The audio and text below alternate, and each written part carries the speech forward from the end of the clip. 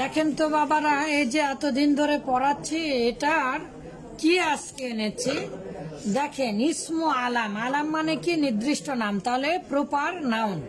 Proper noun মানে ব্যক্তি পরিচিতি বা নির্দিষ্ট নাম। তাহলে শর্ত কি? জানেন, আলাম হওয়ার জন্য বা প্রপার নাউন হওয়ার জন্য শর্ত হচ্ছে জানতে হবে, চিনতে হবে। নির্দিষ্ট হতে হবে। পৃথিবীর সকল নামই এসিম। ঠিক আছে? কিন্তু সকল এসিম বা নাউন নয়, প্রপার নাউন নয়। কিন্তু সকল প্রপার নাউন বা আলাময় কমন নাউন বা এসিম। কিন্তু সকল কমন নাউন কি নয়? প্রপার নাউন প্রপার নাউন আর কমন নাউন মূলত একই জিনিস। প্রপার নাউন এবং কমন নাউন মূলত একই একই জিনিস। তাহলে এখন আব্বা জানেরা দেখেন তো এর মধ্যে কি? যেটা প্রপার সেটাই কমন না এই যে দেখেন এখানে দেখতে পাচ্ছেন প্রপার নির্দিষ্ট। তাহলে এর বিপরীত কি গতকালকে? অনির্দিষ্ট। যেটা অনির্দিষ্ট সেটাই মূলত কি? এই যে অনির্দিষ্ট ইসম নাকেরা সেটাই মূলত কোমন নাউন বা জাতিবাচক নাউন এটার এই প্রপারেরই সমষ্টি। কিসের সমষ্টি? প্রপারেরই সমষ্টির নাম আবার মূলত কমন হতে পারে। আবার একটা জাতি বোঝাতে পারে। এটাই হচ্ছে শর্ত।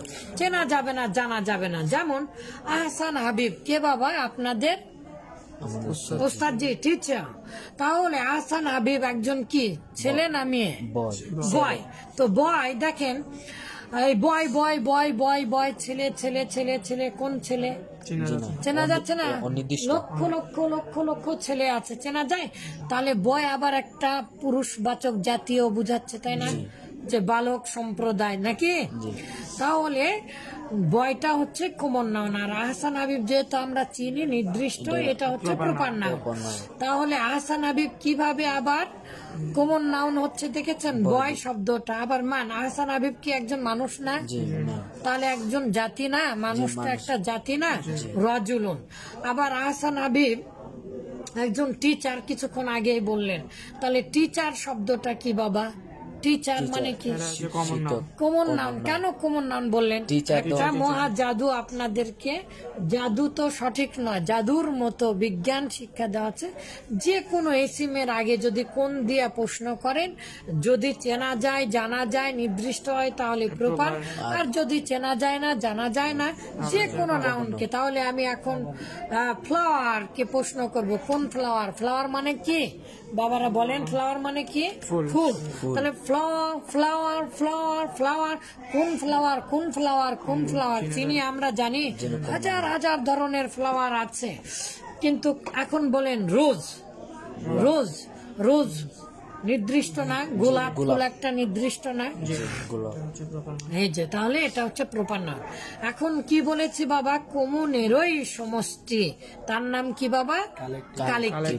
কমনেরই সমষ্টি। এই যে দেখেন দেখেন এই চারটা একটা জাদুর মতো বহু বছর ধরে গবেষণা করে ছোটবেলা থেকে যেটা পড়েছি এখানে এটা উপস্থাপন করেছি।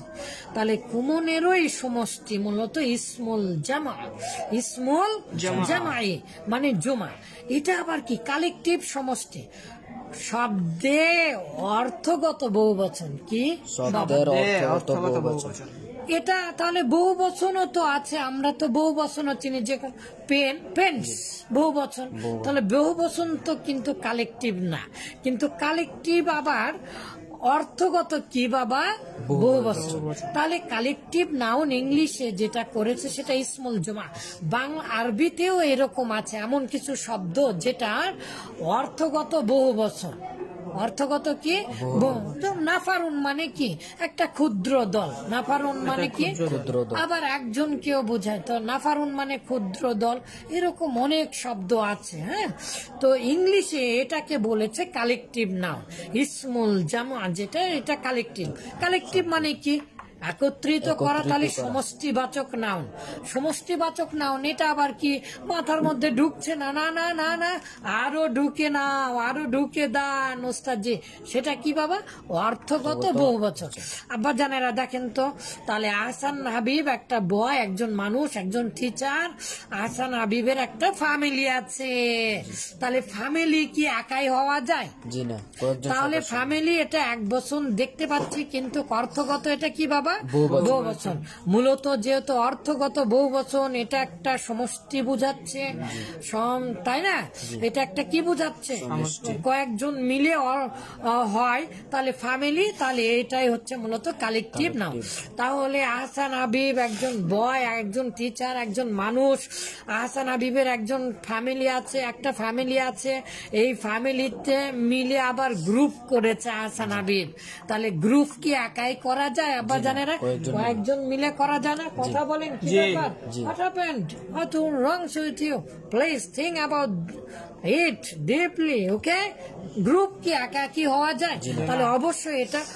গ্রুপটা তো নাউন বটেই বটে। কেমন নাউন বাবা? কালেকটিভ নাউন এটা অবশ্যই কমন নাউন এটাও কমন নাউন কিন্তু কমনেরই কি বাবা. সমষ্টি। কমনেরই কি বাবা? সমষ্টি এই যে দেখেন গ্রুপ গ্রুপ এখন বলেন কোন গ্রুপ কোন গ্রুপ চেনা যায় আব্বা জানেরা? কথা বলেন চেনা যায়?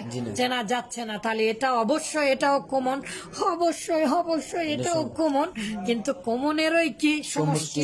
যেহেতু এটাও কমন আর কমনের সমষ্টি হলে ইংলিশ ভাষীরা বলে কালেকটিভ নাউন, আর আরবি ভাষীরা বলে ইসমুল জামাই। তার জন্য আমরা এটাকে চেনে যাচ্ছি। যাই হোক, এখন আহসান হাবিব কি খায় বাবা? রাইস খায়, আহসান হাবিব দুধ খায়, আহসান হাবিব চা খায়। আহসান হাবিব একজন আপনাদের ওস্তাদজি, আমি। আহসান হাবিব একজন বয়, আহসান হাবিব একজন মানুষ, আহসান হাবিবের একজন ফ্যামিলি, একটা ফ্যামিলি আছে। আহসান হাবিব গ্রুপ করে আহসান হাবিব কি খায়? রাইস। আহসান হাবিব দুধ খায় আহসান হাবিব চা খায়। এখন আব্বা দেখেন ম্যাটারিয়াল বলেছে। ম্যাটারিয়াল মানে তো পদার্থ। পৃথিবীর সবকিছুই তো পদার্থ। আমি কি আমি আহসান হাবিব এই যে যে এখানে লোহা আছে এখানে জিঙ্ক আছে এখানে এই শরীরে যে পরিমাণ লোহা আছে তা দিয়ে চারটা প্যারাক তৈরি করা যাবে। যে পরিমাণ ফসফরাস আছে ফসফরাস মানে যে বারুদ। কাঠি জ্বালান না? এটা দিয়ে আহ, চারটা জ্যাসলাই তৈরি করা যাবে। হ্যাঁ বড় বড় প্যারাক তৈরি করা যাবে। এতগুলো লোহা প্রত্যেকের শরীরে আছে, ফসফরাস আছে, জিঙ্ক আছে। তাহলে আহসান হাবিবও তো একটা পদার্থ। পদার্থ না? কিন্তু আহসান হাবিবকে পদার্থ বলা হবে না। কেন বাবা? আহসান হাবিবকে আমরা নির্দিষ্টভাবে চিনি। যেহেতু নির্দিষ্টভাবে চিনি এর জন্য প্রপার বলি। আর যাকে চিনি না তাকে কমন বলি। আর যাকে চিনি না সে যদি জাতিবাচক বা সমষ্টি হয় তাহলে কালেকটিভ বলি। তাহলে ম্যাটারিয়াল আমরা কাকে বলব? পৃথিবীর সবগুলোই তো ম্যাটারিয়াল প্রপারও ম্যাটারিয়াল কমনও ম্যাটারিয়াল কালেকটিভ অপদার্থ বলতে তো পৃথিবীতে কিছুই নেই। তাই না তাহলে পদার্থ। শর্ত হচ্ছে অবিভাজ্য। ভাগ করা যাবে না। অবিভাজ্য। বা শর্ত হচ্ছে বস্তুর মূল উপাদান। বস্তুর মূল উপাদান। আমার মূল উপাদান কি? আমার মূল উপাদান লোহা মাটি। আমার মূল উপাদান কি? আহসান হাবিবের মূল উপাদান কি? আমাদের শরীর আল্লাহ তালা কি দিয়ে বানিয়েছেন? মাটি দিয়ে। বানিয়েছেন এবং কাদা যুক্ত মাটি দিয়ে বানিয়েছেন। কাদা যুক্ত মাটি তাহলে মাটিটা অবশ্যই একটা মূল উপাদান বস্তুর মূল উপাদান বা ব্যক্তির মূল উপাদান। আহসান হাবিবের উপাদান হচ্ছে লোহা। তাহলে লোহা হচ্ছে ম্যাটারিয়াল নাউন মাশা আল্লাহ মাশা আল্লাহ তাহলে বলেন মাশা আল্লাহ বলেন তা না হলে তো আল্লাহ তালা বরকত কমিয়ে দিবেন। আল্লাহর ইচ্ছা এরকম হচ্ছে না। তাহলে আহসান হাবিবের একটা উপাদান মাটি। তাহলে মাটিটা হচ্ছে কি? ম্যাটারিয়াল নাউন তারপরে আবার আহসান হাবিব হচ্ছে মূল উপাদান হচ্ছে একটা লোহাও আছে আহসান হাবিবের শরীরে। তাহলে বস্তুর মূল উপাদানে যা আছে মাটি লোহা এগুলো হচ্ছে তাহলে ম্যাটারিয়াল এগুলো পদার্থ। আর আমরা জানি বিরানব্বইটা পদার্থ আর পদার্থ মৌলিক পদার্থ যৌগিক পদার্থ যৌগিক পদার্থ কয়টি মৌলিক পদার্থ কয়টি এগুলো আমরা বিজ্ঞানে পড়েছি। তো যাই হোক যা গণনা করা যায় না আরও সহজ।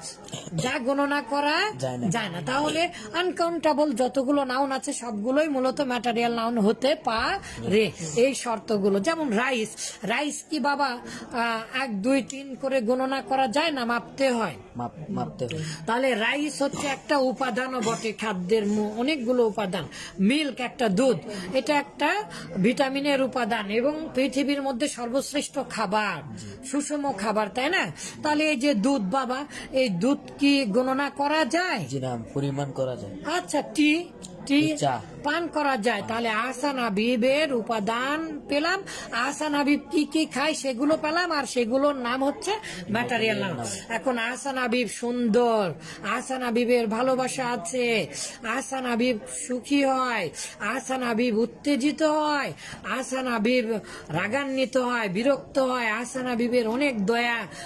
যা অনুভব করা যায়, যা অন্তর দিয়ে অনুভব করা যায়, যা ভালোবাসা যায়, তার নাম কি বাবা? তার নাম হচ্ছে অ্যাবস্ট্রাক্ট নাউন তাহলে বলেন proper common collective material abstract proper noun collective material abstract তাহলে যেটা প্রপার সেটাই কমন হচ্ছে। কমনটাই প্রপার হচ্ছে।